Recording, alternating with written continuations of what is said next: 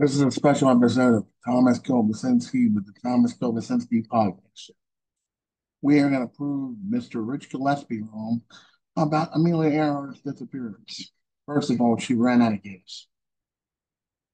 I appear on the last recognition from the Itasca.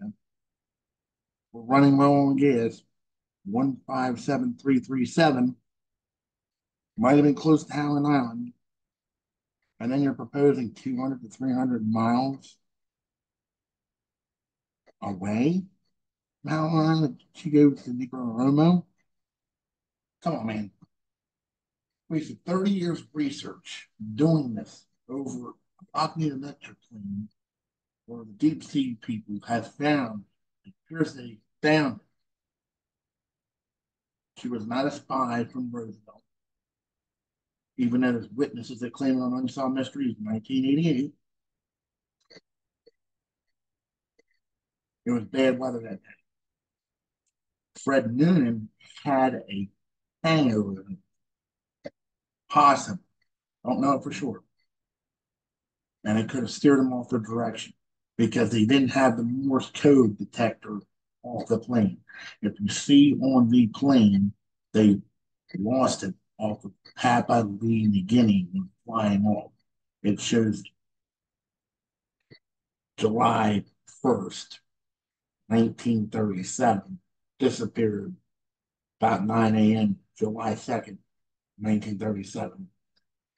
George Putnam puts out a research and search, including the federal government, one the biggest ones ever, never ever be found, not a trace there was radio detections for two weeks. But they could have been false because Morse code, AM radio, sometimes there's different voices that come from different areas from the world that are not liable for hearsay. It's like hearsay in court. Final proposition is they fell short of the landmark because Howland Island is a very short island. And I know they had large, large discussions about this. Mr. Gillespie, you're in a. I once respected your position, but I do no longer. And at this point in time, I think we ran out of money to do this stuff as well because I haven't seen too many too much research on it. And I see that you also doing expeditions, but those expeditions aren't going to do any good if you're doing it in the wrong location. You said you found Amelia Earhart's plane, part of the plane. That's not part of the plane. I mean, you're in a dream world that well, you're you're wasting millions and millions of research on what you should be focusing on deep search and diving around how not basically. Um, you know, no, just quit it, man. Quit it. It does not make no sense. Okay. I've been a fan since I was eight years old. I first watched Unsolved Mysteries. I'm just going to tell you right now, they did not land on that island. Unless you can show supportive evidence. Let's see. Let's just see something. I want to show something. Just look this up.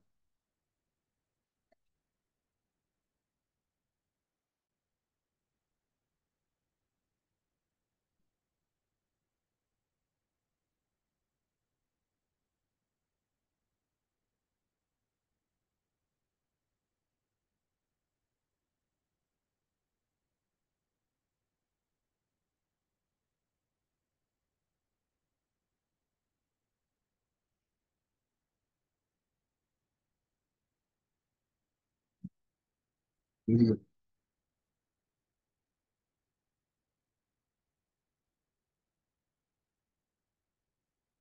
it.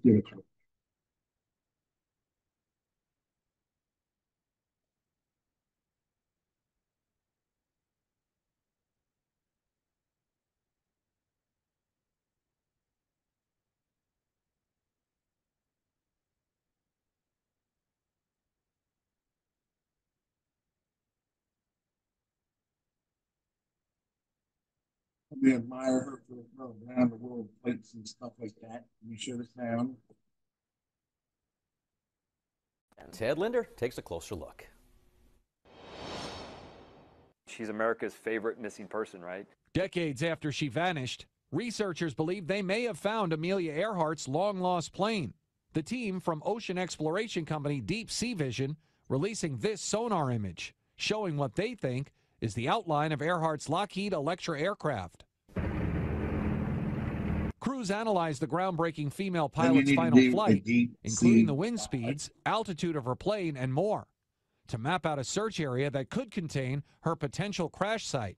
Most likely, she ran out of gas, so she would have tried to sort of pancake the airplane, pancake land the airplane into the water on the surface. Probably would have kept the airplane structurally intact. Um, and then as it filled with water, it would have slowly uh, sank. Earhart and her navigator, Fred Noonan, took off from the country of Papua New Guinea in July of 1937.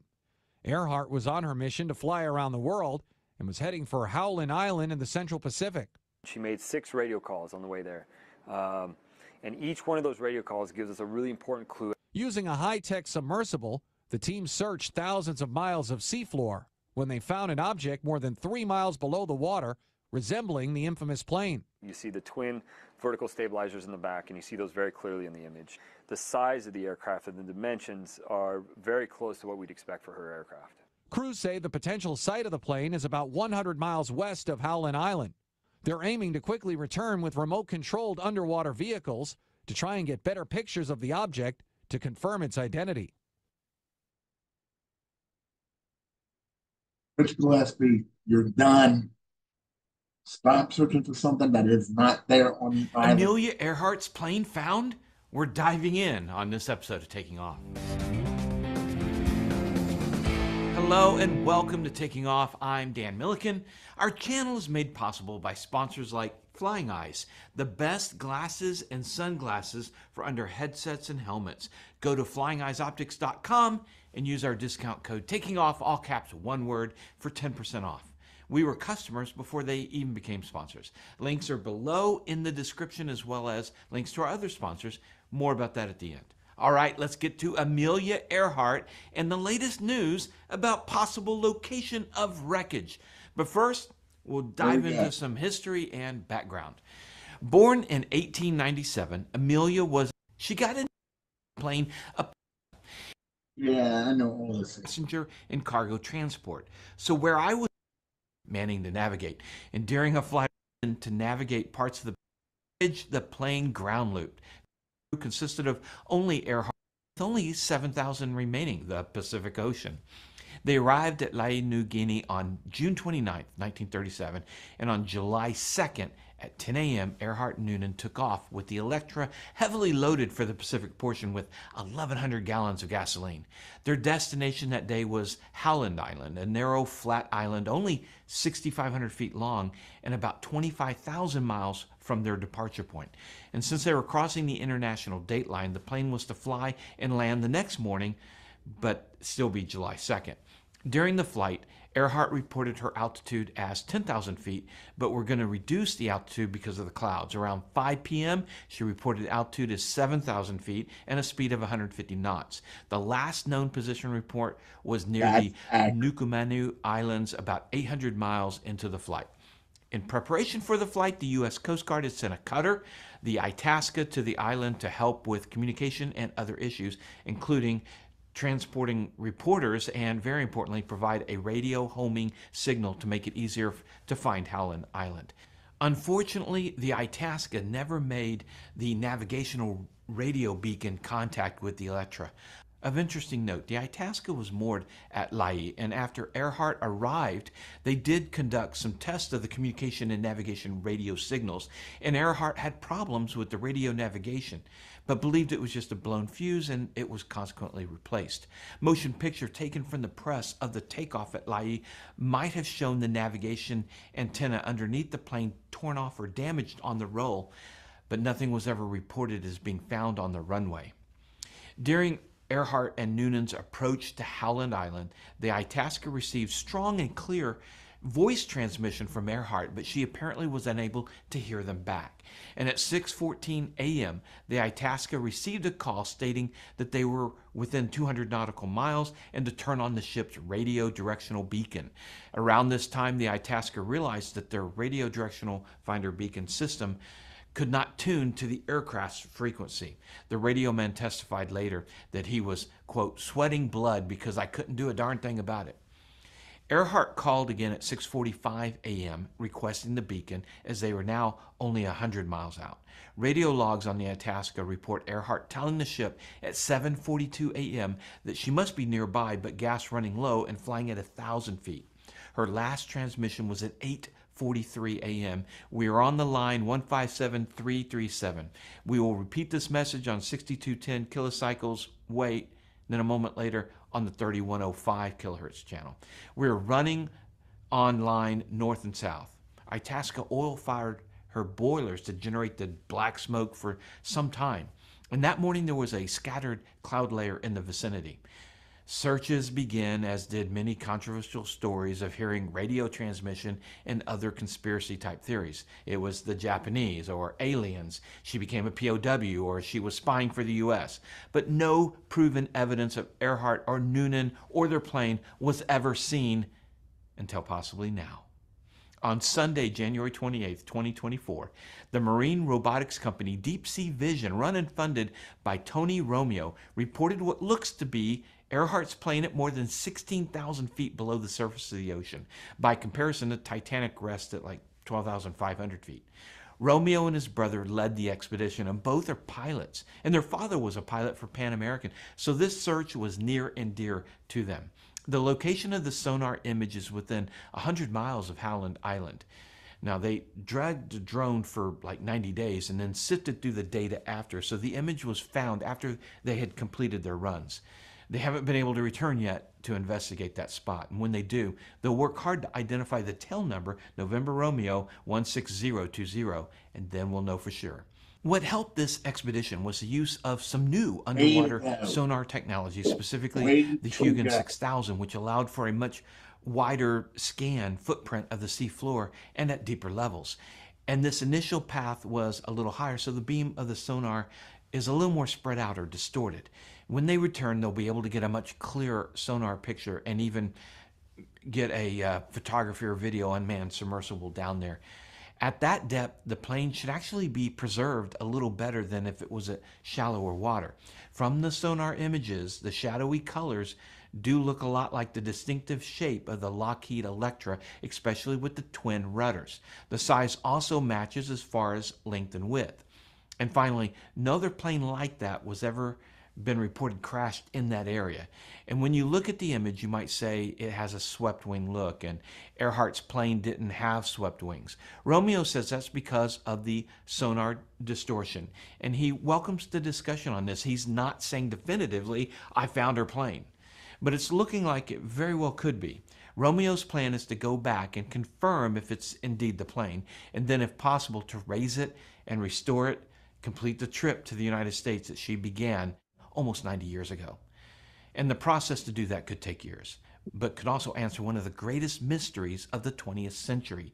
The exact coordinates have not been released, which is no wonder, as it would lead to a huge rush on the area. Is it Earhart's plane? Well, we don't know yet, but hopefully soon. What do you think? Is it? Let the debate begin in the comments below. Okay, thanks for watching. Don't forget to visit our sponsors.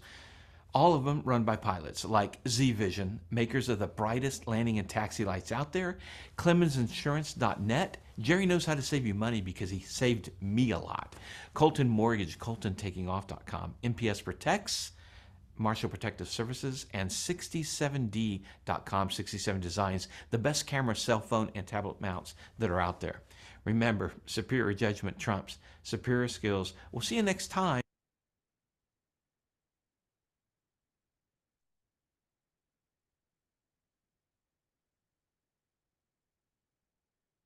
Yeah.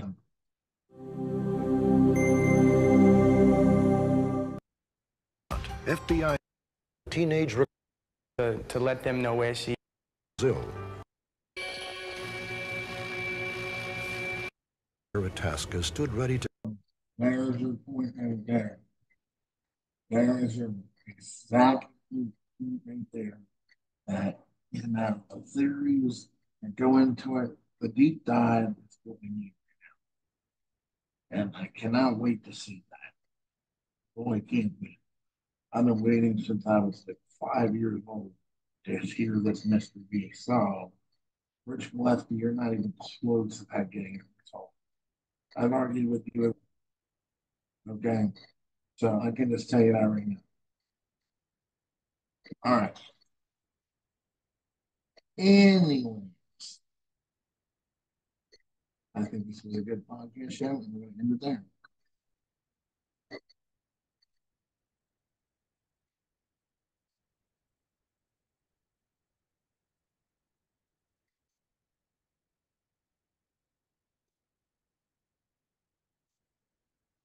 All right.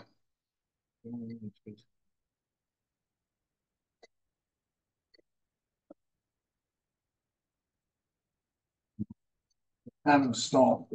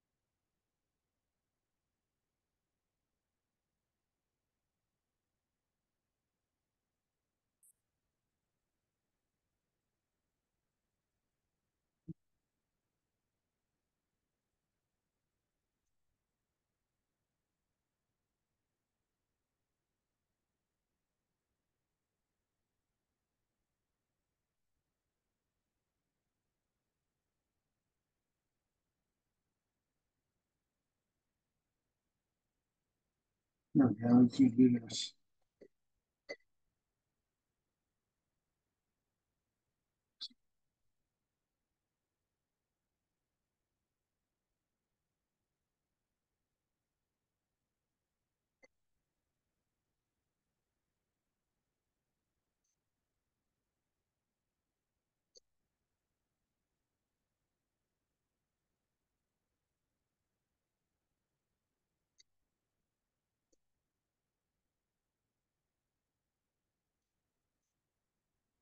Boom, not responding.